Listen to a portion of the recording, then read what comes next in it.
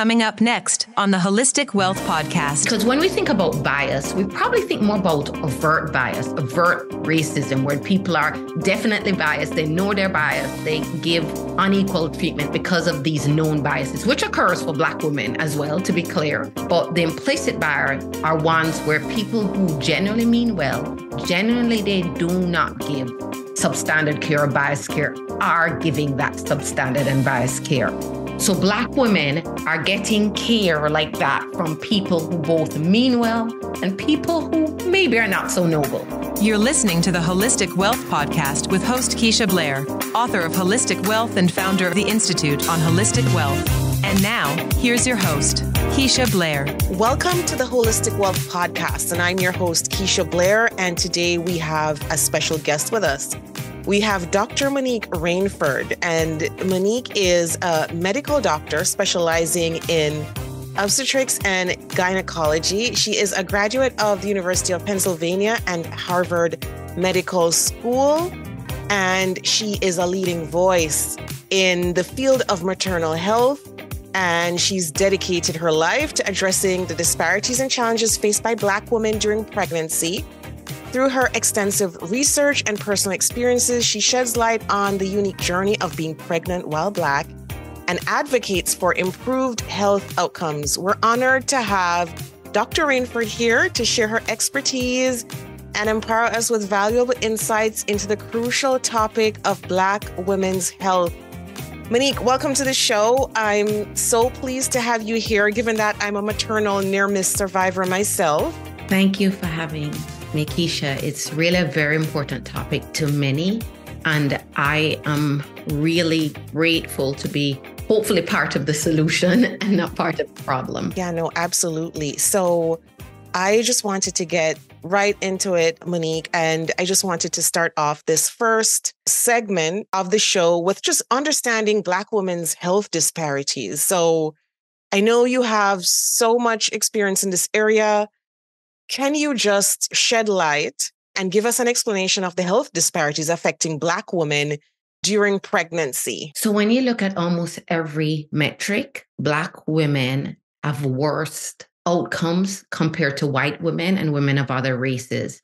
And when I talk about specific metrics, I want to talk about maternal mortality rate, preterm birth rate, rates of preeclampsia or hypertensive disorders of pregnancy, infant mortality, stillbirth. So, on multiple different measures, the outcome for Black women and their babies are worse than women of basically any other race or ethnicity in the United States. Unbelievable the disparities. And like I know there are other factors that contribute to the disparities, whether it's, you know, socioeconomic implicit bias in healthcare and how healthcare is delivered, as well as systemic racism. Can you talk about that in terms of your experience, in terms of these implicit biases and other barriers in the healthcare system? Yeah. So, why implicit bias is an important contributor that when we look at the disparities for Black women and we correct for socioeconomic status, meaning we account for that, we recognize the difference, the outcome for Black women is still worse. And in fact, the disparities between Black women of higher socioeconomic status and white women of higher socioeconomic status are worse. So the differences between those two groups are worse. And in terms of contributor and implicit bias.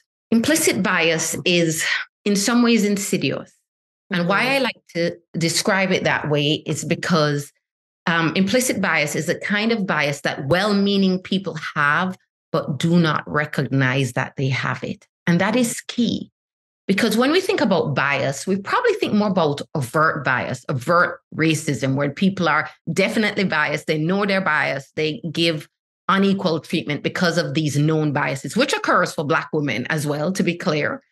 But the implicit bias are ones where people who generally mean well, generally they do not give substandard care or biased care, are giving that substandard and biased care. So Black women are getting care like that from people who both mean well and people who maybe are not so noble, people who have real biases. And so that causes Black women to receive worse care and worse care in different ways. Worse care in terms of they may be saying they have a problem and it's dismissed, or worse care in terms of with the same problem, they don't get the same level or quality care that, say, a white patient might get.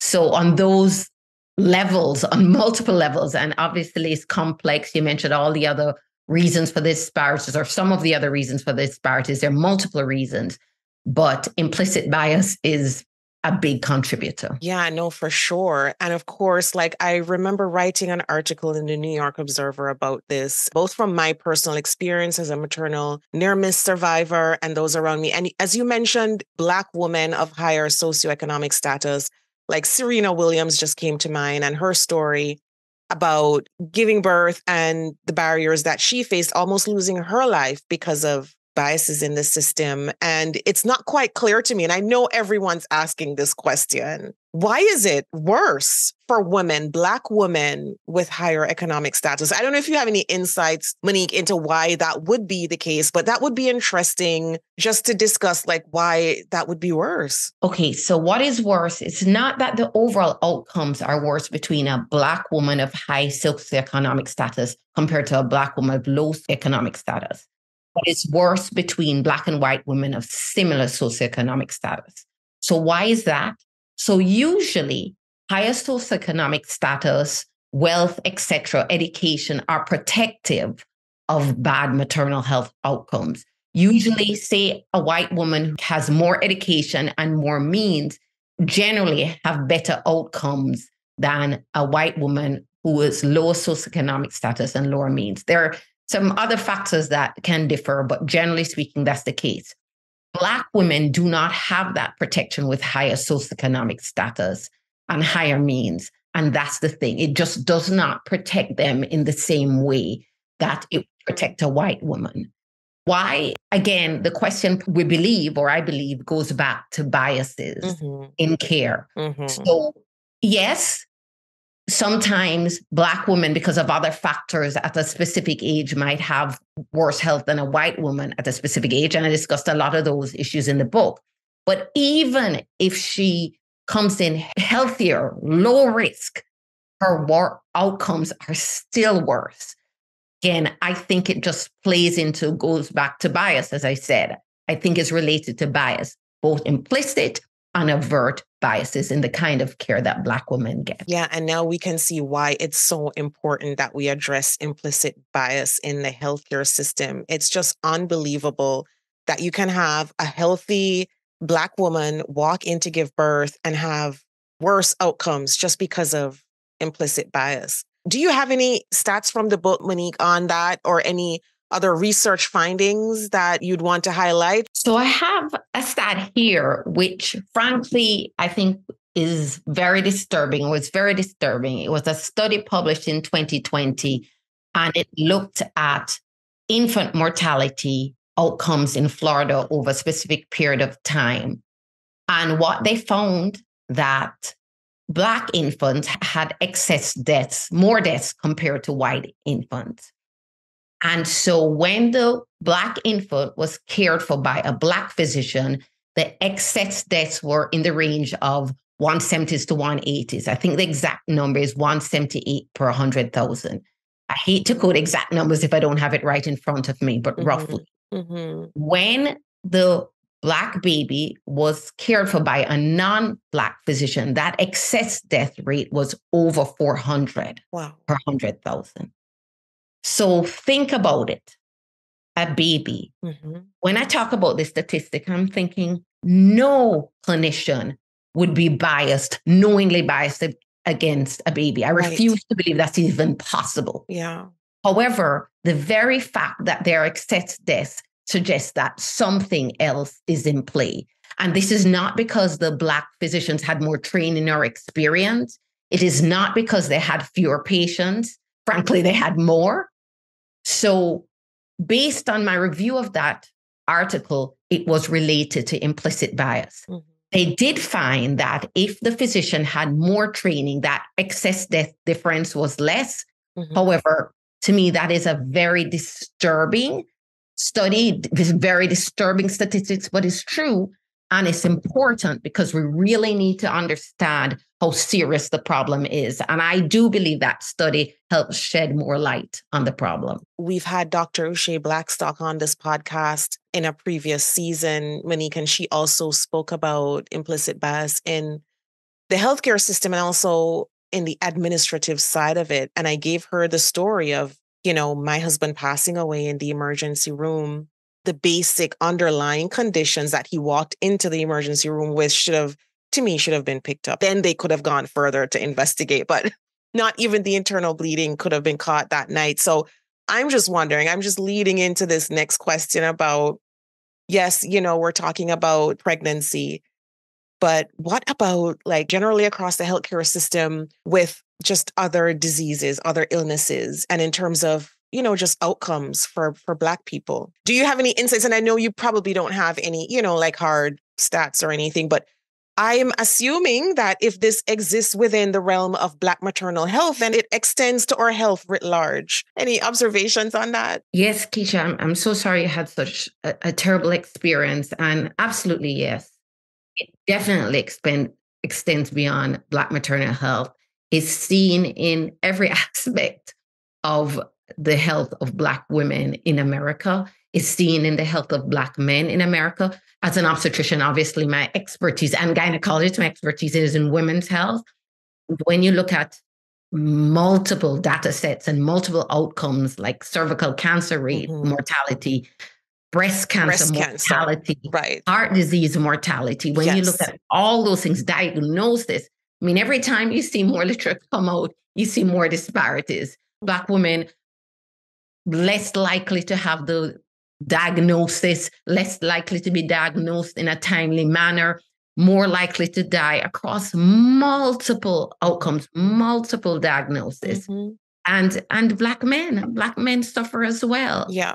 And there is some, you know, excellent researchers in in that space who've who've really enlightened me mm-hmm. on some of the issues that black men face as well but it's it is pervasive. It is throughout the black community what black people in america have to face. I know it's not just in america. I just talk about in america because that's where i am but it's really awful. No absolutely. Absolutely. And it's unbelievable what you must see being on the front lines of giving care with your personal professional experience. And so it just leads me into the book.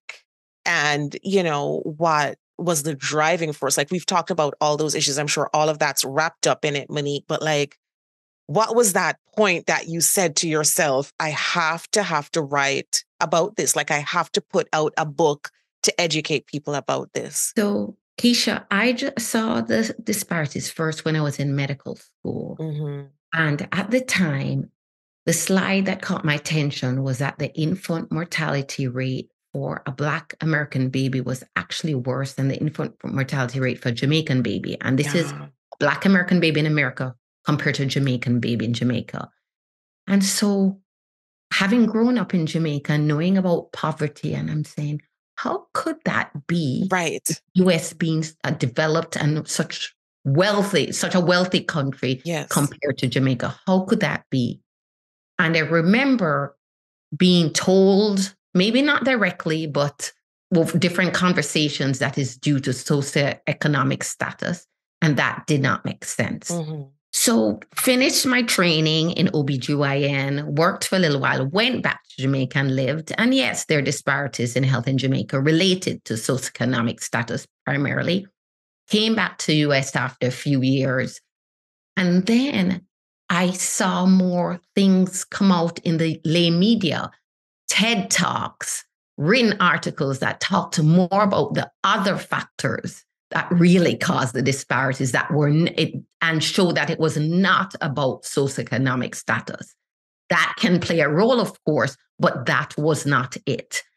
And as I saw more and more of this data, more and more of this information, I just felt called or driven to do something about it especially from my vantage point as an experienced obstetrician and gynecology, especially from my vantage point of knowing that so much more can be done and it can be so much better with all the wonderful resources that can be available in the US.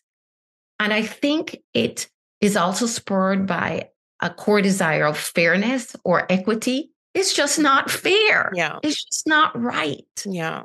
I can't say I had a personal experience that drove me. It just like, this is not right. It is not fair. It doesn't make sense. And yes, I've had experiences with implicit bias throughout my career, but that wasn't the factor that led me. It was something deep down that made me think this is not right, and something deep down that made me feel called to try to do something about it. Yeah, no, it's unbelievable that health disparity between a Jamaican baby and a African American baby born in the United States. Like I I just can't get past that because as you mentioned of the the wealth of resources in the United States versus even Jamaican Jamaican health system but I guess it just speaks to the point that you made earlier about when black women had black doctors or have you know care being given by black um, healthcare workers their outcomes are indeed better and it's so funny because Dr. Blackstock posted on Twitter I guess I think it was a couple weeks ago something similar that in terms of our heart health outcomes, I think the stat spoke to the fact that Black people living in communities that didn't have access to Black doctors had worse heart health outcomes. And so it was, it's just unbelievable to think. And I'm, as you were speaking, Monique, I was thinking, well, this extends beyond, you know, infant mortality, as we mentioned earlier. So I'm just wondering if we were to do a comparison, that I know that probably does not exist yet, across multiple health outcomes, across multiple chronic illnesses, if that would be the same in terms of the comparison between Jamaica and the United States. And having been born in Jamaica myself, that's just unbelievably interesting to me, given that, you know, from an immigration perspective and from a wealth perspective, you know, there's so many people across the diaspora, right, that make it their life's mission to live and work and be a part of a system that's far more resourceful to gain access and to gain better lives for themselves and their children and their families. So that was very telling for me. Like, have you seen anything else in terms of like any comparisons with the US and Jamaica in terms of other health outcomes?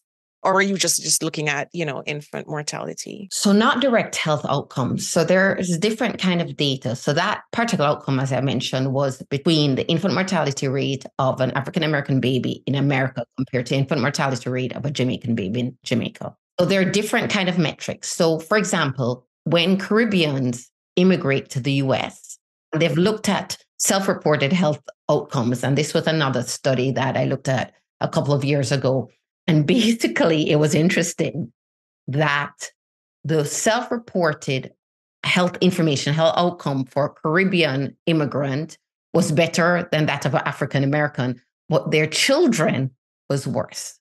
So think about That's it. That's interesting. So very interesting. So say adult family from the Caribbean moves to America, they have better health outcomes than an African American at first and then they give birth and they have their children, but their children may have worse outcomes than an African American. So it just speaks to some of the factors in America related to, I would say, racism that can affect or does affect the health of Black people who come from other countries. And yes, many of us come to America for opportunities, financial opportunities, work opportunities to make a better life for children and our children children. But we have to remember there's a cost and we have to do what we can to balance that cost. And the cost is racism in america can adversely affect the health of black people living in america and that effect increases with the amount of time a black person lives in america. That's unbelievable. I have goosebumps when you said that there is a cost, there's an opportunity cost. And that's why I wrote Holistic Wealth because of thinking about that cost. And even, you know, the new and expanded version where I get more into racism and discrimination and the impacts on individuals. It's unbelievable, Monique, that for someone who has tragically lost someone, you know, the generational impacts of that loss, right? And then you spoke about the opportunity cost and the racism factored in. And that even if you reach a certain level of wealth and education, that it does not, it does not obliterate or even lessen that. It's, it just speaks to this conversation and the importance of awareness and allowing people to hear this conversation because it's so important. And so, Monique, I know that you're promoting the book and doing everything that you can to get this message out there. What has that been like? And what has the reception been in terms of, you know, even in, within the healthcare system, like your colleagues and peers and others hearing this message and hearing these devastating statistics? What has that been like for you? I've had a, a lot of positive feedback from people who have heard about the book. Particularly Black women have been very expressive mm-hmm. with their feedback. And when I say expressive, this through social media, this is some people yeah. that I have not met, many people that I have not met, right. but really feeling happy yeah. that I wrote the book, really feeling that it is important. I've had non Black men and women read the book and feel moved by it. I'm doing my MBA at Yale, EMBA, executive MBA awesome. at Yale. One of my classmates yeah. Uh, and friends, and she's a white woman. And she said, Oh, Monique, I loved the book. And that felt so powerful to me because I wrote the book to help Black pregnant women in America. But I know that we, Black women, aren't the only ones who can make a difference. We need help from everyone. We need help from the wider community, multi ethnicity community who cares. And so I'm hoping that people beyond the Black community will read the book and help solve this problem, help improve the disparities. I am really encouraged by the reception I've received so far. I do hope that more people will read it, more people would learn about it, ask me questions somehow. I'm sure there are ways. And I really want it to be another catalyst for change. And when I say another, there are so many other people who have been working for years to try to advocate for change and blood, sweat, and tears to try to advocate for change. I know I'm joining or trying to be a part of the movement for change. But I know I'm not nearly the only one. And I also know that people have been working harder and longer in it. But I still do want to be a part of the solution, as I mentioned, and not a part of the problem. And I want to continue doing more and more for change. But going back to the book, yes, I hope more people across ethnicities, across genders will read it as long as they care about the health of Black women or they care about equity yeah, yeah. in healthcare so that they can understand the issues, the barriers to equity. Because equity does not just affect Black women, it does not just affect minority women necessarily, it can affect white women, white men. Based on other factors, based on gender based on, well, I said white women and men, but based on preferences, sexual preferences, based on body size. you know, there's so many things that can affect how people are taken care of.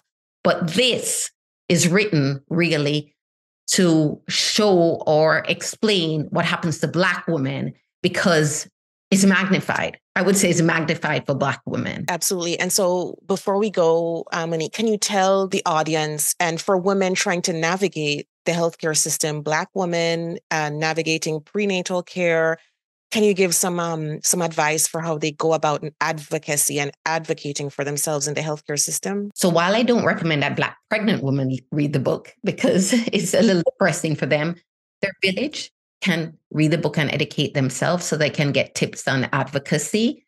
Their friends, whoever their friends are, all their friends can read the book. Women can try to find a clinician before they get pregnant, if possible, get advice from women they trust. Black women may need to go to other Black women because sometimes they hear that uh, physician or midwife gives to a white woman may be different from the care they give to a black woman. So get advice of people they trust.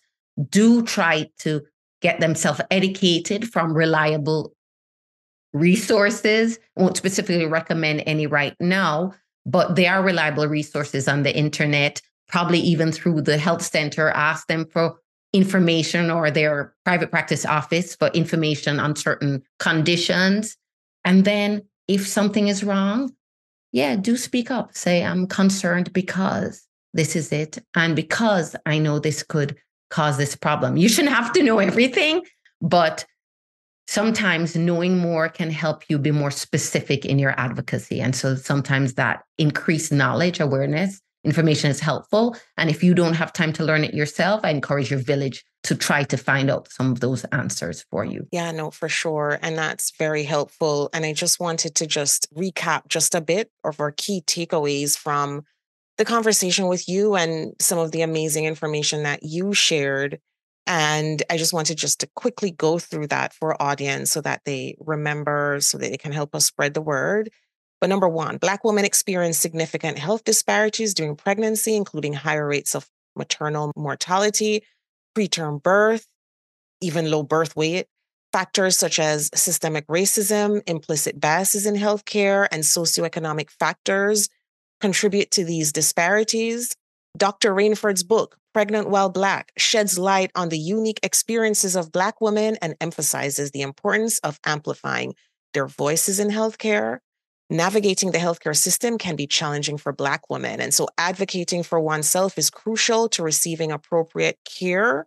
And of course, we spoke about speaking up, advocacy, Black women supporting each other, seeking resources from each other, learning from our community, amplifying our own voices. And I'm just encouraging listeners, if you're listening to this, please share this episode with others, continue the dialogue, spread awareness as much as you can. And so, Monique, where can we find you and the book, and where can we link with you on social media? You can find the book basically the major online platforms Amazon, my publishers, Broadleaf Publishing, on their website, Barnes and Noble.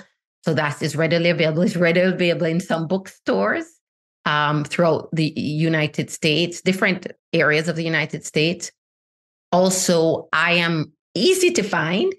I can be found through my website, www.moniquerainford.com, and there's a contact page on that. And using Monique Rainford, you can find me on Instagram, Dr. Monique Rainford, through LinkedIn, the same name, through Twitter, the same name, through Facebook, the same name. So I'm very easy to find through social media and through my website. And the book is very easy to find and very readily available in a number of online platforms in particular and some local bookstores. Monique, it has been a pleasure having you here. Thank you so much for sharing your wisdom and insights into this important topic. It's such an important topic. And I hope that once everyone has had a chance to listen in, that they'll not only get the book, but they're, you know, they will share this episode and continue to advocate for Black women all across the world as it's so needed. Um, it's unbelievable the impacts and why it's so crucial. So thank you so much for joining us, Monique. It was amazing having you here. Thank you, Keisha, and thanks for all the work you do to amplify these important issues. Really appreciate it. Using your tragedy for tremendous purpose. So thank you so much. The Holistic Wealth Podcast with Keisha Blair is brought to you by. Have you joined the Institute on Holistic Wealth? If you haven't already, what are you waiting for? Choose your membership plan at the Institute on Holistic Wealth slash memberships to join. As a member, you'll get access to free worksheets, advice, coaching, and an intentional design workshop. As you start to live a more holistically wealthy lifestyle, you'll want to stay for a very long time. So go to Institute on Holistic Wealth slash memberships to join. If you haven't read the book yet, pick up a copy of the award winning best selling Holistic Wealth 36 Life Lessons to help you recover from disruption, find your life purpose, and achieve financial freedom.